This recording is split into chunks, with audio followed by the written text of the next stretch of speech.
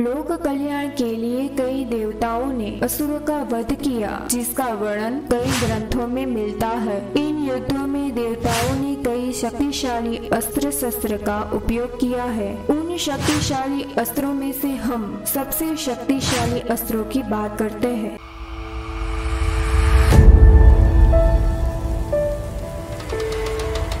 सुदर्शन चक्र सुदर्शन चक्र का अर्थ होता है दिव्य दर्शन। सु यानी कि दिव्य। चक्र का अर्थ गति को दर्शाता है। सुदर्शन चक्र का आकार गोलाकार है और सुदर्शन चक्र में 108 धारदार किनारे होते हैं। भगवान विष्णु का अस्त्र सुदर्शन। अपने संपूर्ण कार्य को पूर्ण करने के बाद ही अपने मूल स्थान पर आता है। जब बेटियों ने तीनों लोगों पर आतंक मचाया था, तब तो भगवान विष्णु ने सहस्त्र नामों से भगवान शिव की आराधना कर घोर तपस्या की थी। सहस्र नाम लेने के साथ वे फूल भगवान के लिंग को अर्पित करते थे। तब शिव जी ने भगवान विष्णु की परीक्षा ली। शिव जी ने पूजा के फूलों में एक फूल ले लिया। भगवान विष्णु ने पूजा अधूरी ना रहे इसलिए अपने आँखों को फूल के रूप में अर्पित किया। तब शिव जी प्रसन्न हुए और विष्णु जी ने अपराजित शस्त्र का वरदान मांगा, जिसके उपयोग से वो समस्त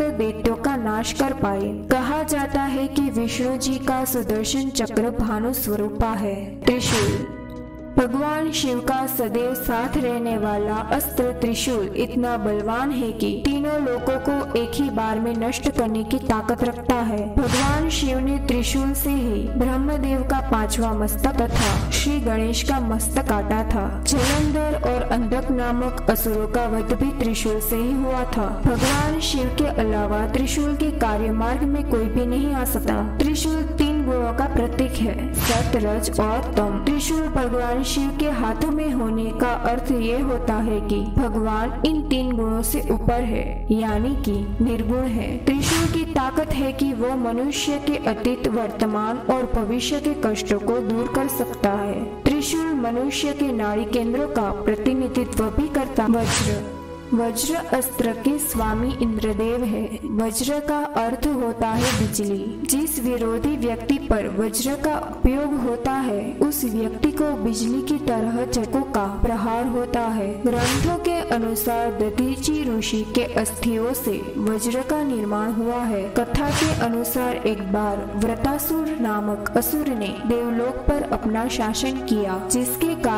समस्त देवों को, देवलोक को छोड़ना पड़ा। देव ने देवलोक को वापस पाने के लिए और व्रतासुर के वध का उपाय पाने के लिए भगवान विष्णु के पास गए। तब देवों को भगवान विष्णु ने बताया कि व्रतासुर का वध दतीची ऋषि के अस्थि से हो सकता है, क्योंकि व्रतासुर को वरदान प्राप्त है कि उसका वध किसी भी धातु या लकड़े से नहीं हो सका। तब इंद्रदेव सहित समस्त देवगण पृथ्वी पे आए और सारी बात योगिक ऋषि दधीची को सुनाई। तब देवों की रक्षा हेतु दधीची ऋषि ने अपना जीवन योग बल से छोड़ दिया। देवताओं ने दधीची ऋषि के अस्थि से वज्र का निर्माण किया। व्रतासुर का इंद्रदेव ने वध किया और वापस स्वर्ग लोक जीत लिया गदा वैसे तो प्राचीन काल में गदा सामान्यतः देवी देवताओं के हाथों में होती है, लेकिन महाबली हनुमान जी का मुख्य अस्त्र गदा को माना गया है। गदा की रचना देखी जाए तो एक लंबा डंडा होता है और गोलाकार भारी शीश होता है, जिसका उपयोग करना कठिन माना गया है। प्राचीन अस्त्र गदा का उपयोग भीम से और दुर्योधन के बीच युद्ध के दौरान हुआ था। बेटा शौर्य और शक्ति का प्रतीक गदा को माना गया है। शिव धनुष। भगवान शिव के धनुष को पिनाक के नाम से भी जाना जाता है। शक्तिशाली धनुष अस्त्रों में से एक पिनाक की गणना होती है। इस धनुष के बारे में अलग अलग ग्रंथों में अलग मान्यता है। जैसे कि इस धनुष का उपयोग शिव जी ने त्रिपुरासुर नामक असुर के वध के लिए किया था। दूसरी मान्यता ये है कि भगवान शिव के पिनाक को देवराज इंद्र को दे दिया था। अन्य एक मान्यता ये भी है कि धनुष को भगवान शिव ने विष्णु जी के अवतार परशुराम को दिया और परशुराम ने राजा जनक को दिया, जिसका इस्तेमाल राजा जनक ने सीता स्वयंवर के दौरान किया। जो महान पुरुष इस धनुष को उठा पाएगा, उसके साथ सीता जी का स्वयंवर होगा। ये कार्य राजा राम ने सफलता से पूर्ण किया। नारायणास्त्र नारायणास्त्र का उपयोग भगवान विष्णु ने अपने नारायण अवतार में किया था। ये अस्त्र की वृत्ति ये थी कि जब कोई योद्धा उस अस्त्र का विरोध करता था तो उसकी इस अस्त्र का प्रहार और भी बलपूर्वक अग्नि वर्षा के साथ होता था। अस्त्र की शक्ति तब तक बढ़ती थी जब तक विरोधी योद्धा आत्मसमर्पण ना कर ले, या तो विरोधी योद्धा की मृत्यु ना हो जाए। महाभारत काल में श्री कृष्ण पांडवों के पक्ष में थे तब युद्ध के दौरान अश्वस्थामा ने पांडवों के विरुद्ध में इस अस्त्र का उपयोग किया।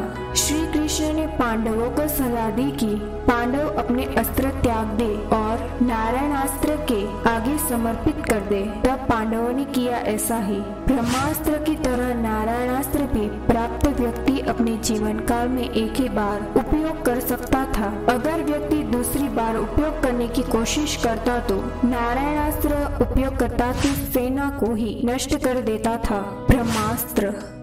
भगवान ब्रह्मा द्वारा निर्मित ब्रह्मास्त्र का उपयोग महाभारत के युद्ध में किया गया था तथा त्रेता युग में मेघनाथ द्वारा भी ब्रह्मास्त्र का उपयोग किया गया था। ब्रह्मास्त्र मात्र विरोधी योद्धा को नष्ट नहीं करता, बल्कि उपयोग किए गए आसपास की भूमि को भी नष्ट कर देता है। ब्रह्मास्त्र का आह्वान मंत्र उपचार से ही होता है। ब्रह्मास्त्र का उपयोग व्यक्ति अपने पूरे जीवन काल में एक ही बार कर सकता है। आशुपतास्त्र वैसे तो भगवान शिव का अस्त्र त्रिशूल है, लेकिन इसके अलावा चार शिरों वाला परम शक्तिवान दिव्य पाशुपतास्त्र भी है। युद्ध के दौरान अपने पक्ष की जीत की इच्छा से भगवान शिव को प्रसन्न कर अर्जुन ने पाशुपतास्त्र को प्राप्त किया था। पाशुपतास्त्र को अर्जुन को देते वक्त शिव जी ने कहा कि इस अस्त्र का युद्ध में इस्तेमाल करने की ज़रूरत नहीं पड़ेगी। इस अस्त्र का तुम्हारे पास होना ही पर्याप्त है।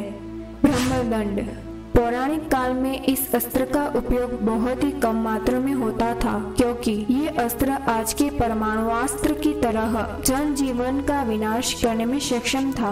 महाभारत के युद्ध में अर्जुन ने कर्ण के विरुद्ध इस अस्त्र का उपयोग किया। तब कर्ण ने उसके प्रभाव को नष्ट कर दिया। ये अस्त्र ब्रह्मदेव से प्राप्त किया जाता था। ब्रह्म दंड का उपयोग व्यक्ति एक दिन एक ही बार कर सकता था।